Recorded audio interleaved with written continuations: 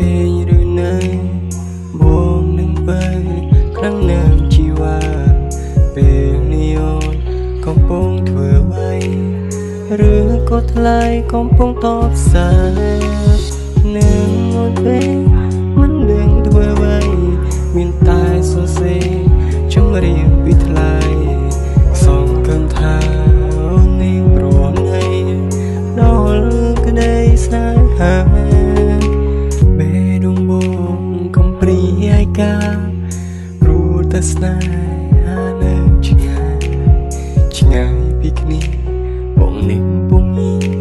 តែអូនមាននឹងមកទីភ្នំពេញទីក្រុងឆាឆាយអូនបែបសប្បាយណាស់ហើយបងនៅខែពីទុំឥតស្បាយ